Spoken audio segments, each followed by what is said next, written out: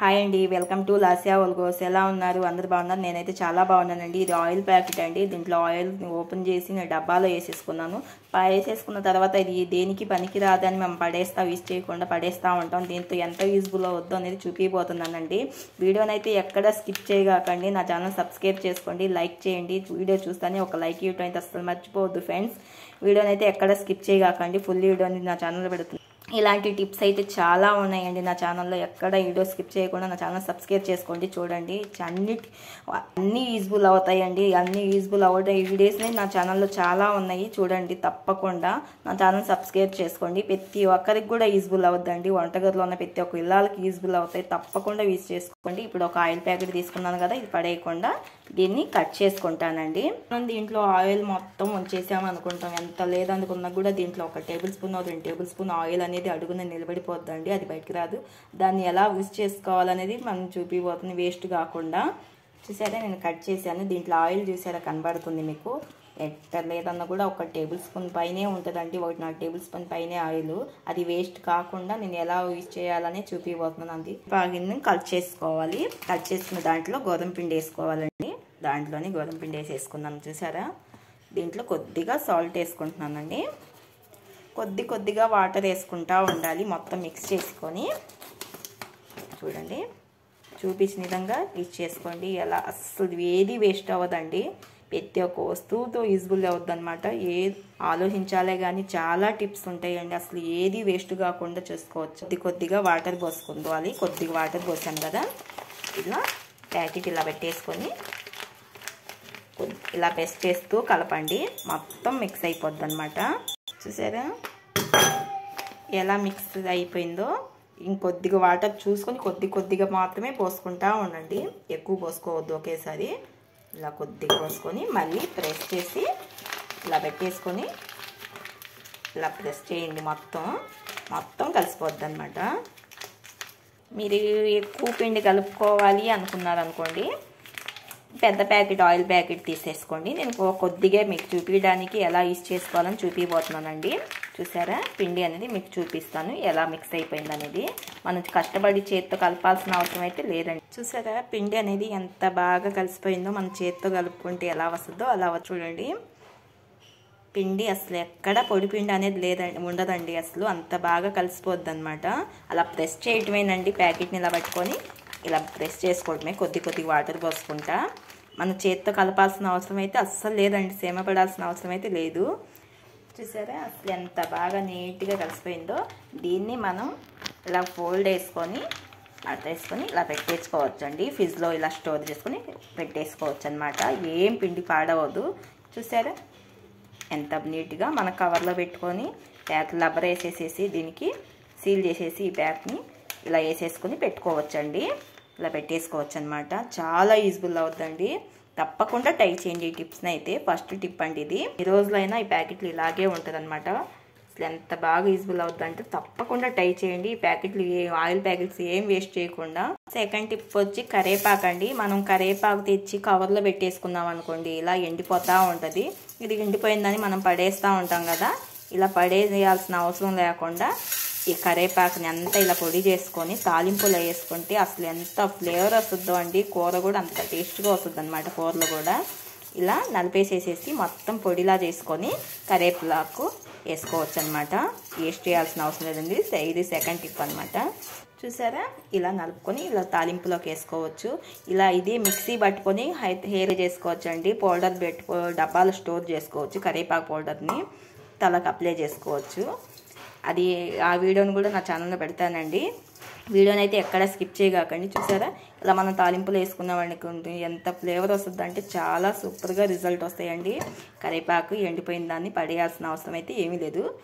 దీన్ని గ్రైండ్ చేసుకొని మెత్తగా పౌడర్లా పెట్టుకొని ఒక డబ్బాలో స్టోర్ చేసుకుని తలకు అప్లై చేసుకున్నాం అనుకోండి హెయిర్ ఫాల్ కంట్రోల్ అయిపోద్ది. చాలా యూజ్ఫుల్ అవుద్ది అనమాట దాంట్లో కొన్ని మిక్సీ చేయాల్సినవి కూడా ఉన్నాయండి. ఆ వీడియోని నా ఛానల్లో పెడతాను. ఎక్కడ స్కిప్ చేయగాకండి ఇది తాలింపులో వేసుకోవచ్చు. తలకి అప్లై కూడా చేసుకోవచ్చు అండి హెయిర్కి మనకి పాల మేగడ ఎక్కువ రావాలి అనుకున్నప్పుడు ఇలా చేయండి. తప్పకుండా యూజ్ఫుల్ అవుద్ది. ఇది ధర టిప్ అనమాట తప్పకుండా యూజ్ఫుల్ అవుద్దండి. పాలని కాసి ఒక గిన్నెలో పెట్టేసి ఫ్రిడ్జ్లో పెట్టేసేసేయండి. మేగడ చూడండి ఎంత మందంగా వస్తుందో చూపిస్తాను మీకు. కాసి పక్కన పెట్టింది అర లీటర్ పాలేనండి ఇది. మేగడ అంతా చూపిస్తాను చూడండి మీకు. కూలింగ్ ఉందండి చేయబెట్టడానికి. మేగడైతే ఎంత వస్తుందోనండి మందంగా చూసారా? ఇదంతా ఒక బౌల్లో తీసుకోవచ్చు. పాల మేగడ చూసారా? మేగడ ఎంత వచ్చిందో ఒక బౌల్లో తీసుకున్నానండి. ఇది మామూలుగా ఫ్రిడ్జ్లో పెట్టుకున్నాం అనుకోండి స్మెల్ వస్తుంది.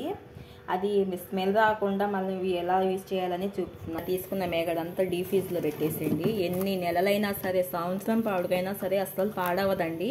ఇలా స్టోర్ చేసుకుంటే బయట ఇక్కడ పెట్టామనుకోండి స్మెల్ వచ్చేస్తుంది. కింద పెట్టామనుకోండి అదే డీ పెట్టామనుకోండి ఎన్ని సంవత్సరాలైనా ఎన్న చేసుకునే ఎన్న కాసుకోవాలి అనుకున్న పది నిమిషాలు ఒక అరగంట ముందు తీసుకొని డీ నుంచి పక్కన పెట్టేసుకోండి. పెట్టుకున్న తర్వాత పూలంతా పోయిన తర్వాత మీరు ఎన్న చేసుకోవాలండి. పొయ్యి మీద మీకుంటే వెన్న వస్తుంది. ఆ వెన్న తీసి ఒక సెట్లో వేసేసి కాయటమే అది చూపిస్తానండి. ఎలానే నెక్స్ట్ వీడియోలో. ఆ మేగడంతా ఇలా డీఫీజ్లో పెట్టేసామనుకోండి చూసారా? అస్సలు స్మెల్ అనేది అస్సలు రాదండి. ఎన్ని నెలలు కాదు సంవత్సరం పాడుగైనా అసలు ఇలాగే ఉంటుంది పాడవదు. మనం బయట నుంచి తెచ్చుకోవాల్సిన అవసరం అయితే లేదండి. పాలు మేగడ తీసుకొని ఇలా ఒక డబ్బాలో వేసి డీ పెట్టేసేయండి. అసలు స్మెల్ అనేది అస్సలు రాదండి. ఇక్కడ ఇదైతే చూడండి. ఎక్కడ విజిబుల్ అవుద్ది ప్రతి ఒక్కరికి విజిబుల్ అవుద్దండి తెలియక బయట పెట్టేసేసి స్మెల్ వచ్చేస్తుంది. అవి వెన్న కాసేటప్పుడు కూడా అదొక వాసన స్మెల్ అనేది ఎలాంటిది కూడా రాదండి. డీ ఇలా పెట్టేసారనుకోండి తర్వాత ఒక అరగంట పాటు మనం వెన్న చేసుకునే ముందు ఒక అరగంట ముందు బయట పెట్టేసుకొని కూలింగ్ పోయిన తర్వాత చేసుకోవాలండి. చూసారా? అసలు ఎక్కడ పాడవద్దు అసలు వెన్న అనేది ఈ మేగడ. ఈ మేగడ తీసి ఇలా డబ్బాలో స్టోర్ చేసుకోండి. ఎన్ని నెలలు కాదు సంవత్సరాలు పాడుకైనా సరే అలాగే ఉంటుందండి. పాడవదు అసలు స్మెల్ రాదు. తప్పకుండా యూజ్బుల్ అవ్వద్దు అనుకుంటున్నానండి ఈ టిప్స్ అయితే. ఆ ప్రతి ఒక్క టిప్స్ యూజ్బుల్ అవ్వద్దండి ప్రతి ఒక్కరికి కూడా. తప్పకుండా టై చేయండి. టై చేసి కామెంట్ చేయండి. ఎక్కడ వీడియో స్కిప్ చేయకండి ఇలాంటి స్టోర్ చేసుకోండి ఫ్రిడ్జ్లో డీ ఫ్రిజ్లో మాత్రమే స్టోర్ చేసుకోండి. నైట్ టైం పాలు కాసి పక్కన పెట్టేసేయండి ఫ్రిజ్లో పెట్టేసేసేయండి. చల్లారిన తర్వాత వేడిగా ఉన్నప్పుడు ఫ్రిజ్లో పెట్టకాకండి. ఆ వేడంతా ఫ్రిజ్లో లాక్కోవడానికి మళ్ళీ కూలింగ్ అక్కడానికి టైం పడుతుంది చల్లారిన తర్వాత డీ మామూలు ఫ్రిజ్లో పెట్టేసేయండి. తర్వాత మేగడ తెల్లారి నాకు తీసుకొని ఒక డబ్బాలు ఇలా స్టోర్ చేసుకొని డీ ఫ్రిజ్లో పెట్టేసుకోండి. ఎన్ని నెలల సంవత్సరాల పాడుకు కూడా ఉంటుంది ఫోర్త్ టిప్స్ అండి ఇది. సారీ ఇద్దరు నేనైతే ఇలా మూత పెట్టేసేసి డీ పెట్టేసేస్తానండి. ఎన్ని నెలలు కాదు సంవత్సరాల పాటు అయినా సరే అలాగే ఉంటుంది. ఎలాంటి స్మెల్ అయితే అస్సలు రాదండి. మనకు కావాల్సినప్పుడు బయటికి తీసుకుని ఒక అరగంట ముందు ఆ కూలింగ్ పోయిన తర్వాత వాడుకోవటమేనండి. వెన్న చేసుకోవటమే నెయ్యిని.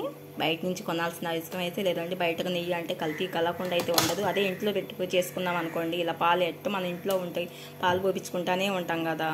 అలా మేగడి తీసుకొని ఇలా పెట్టుకోండి డీ ఫ్రిడ్జ్లో పెట్టుకున్నారనుకోండి ఆ స్మెల్ అనేది అస్సలు రాదండి. ఇప్పుడు వచ్చి ఫోర్త్ టిప్ అండి కోడిగుడ్లు మనం పగలగొట్టిన గుడ్లు ఉంటాయి కదా ఎక్సి పడేస్తూ ఉంటాం కదా డస్ట్బిన్లో పడేస్తామండి. అసలు దేనికి పనికిరావని దీంతో కూడా యూజ్ అవుద్దండి. తప్పకుండా ట్రై చేయండి. ఇలా తీసుకొని మొత్తం మిక్సీకి ఇలా వేసుకోసుకోండి. పౌడర్ లాగా. ఎంత యూజ్ఫుల్ అవుతాయంటే అంటే అండి ప్రతి ఒక్క వస్తువు కూడా ఏ అసలు బయట పడేయాల్సిన అవసరం అయితే లేదండి. తెలియక ఇప్పటిదాకా పడేసేది ఇలా తప్పకుండా ట్రై చేయండి. మొత్తం మిక్సీకి వేసుకుంటాను. చాలా యూజ్ఫుల్ అవుద్దండి. సరే ఇలా మిక్సీ పట్టుకొని పౌడర్ లాగా పట్టుకోండి. ఎగ్స్ని పగలగొట్టిన కోడిగుడ్డు పొక్కుల్ని ఇలా పౌడర్ లాగా పెట్టుకోండి. ఇలా పెను ఉంటుంది కదండి మనం అట్లు పోసుకొని పెను. ఇదంతా చూసారా గారబట్టిపోయినట్టు వేస్తా కాలిపోయి బాగా మాడిపోయి ఉంది కదా. ఇదంతా క్లీన్ చేసుకోవచ్చండి. చూడండి వెనక వైపు అంతా నలుపుగా ఉంది కదా. దీంట్లో కొద్దిగా వంట సోడా వేసేసేయండి. మొత్తం ఇలా వేసేసుకోండి. అప్లై చేసేసింది కొద్దిగా వాటర్ చెల్లి. ఇలా కొద్దిగా వాటర్ చల్లి ఇలా అప్లై చేయండి. మొత్తం ప్రెస్ చేసేసి ఎంత తెల్లంగా వస్తాయి అంటే అండి అసలు వేస్ట్ అనేది అసలు ఏది వేస్ట్ అవ్వవండి. ఇలా ఒక స్టబ్బర్ తీసుకోండి. ఇది తీసుకొని మొత్తం రుద్దేసేయండి. అసలు నీట్గా అంటే నీట్గా వచ్చేస్తుంది ఇలా మొత్తం ఇలా అడుగున ఇలా అప్లై చేసేసి గట్టిగా కొద్దిగా పెసరిచ్చి రుద్దండి. ఒక రెండు నిమిషాలు. కొద్దిగా వంట సోడా కూడా వేయండి ఆ కోడిగుడ్డు పొక్కులతో పాటు. అసలు ఎంత నీట్గా అంటే అండి వెనకాల అది మొత్తం స్టీల్ మీద బాగా నలుపంతా పేరిపోయి ఉంది కదా అదంతా వదిలేసేస్తుందండి నలుపంతా ఇలా స్టీల్ పీస్ వేసేసి స్కెబ్బర్తో రుద్దండి కొద్దిగా పెసరిచ్చి.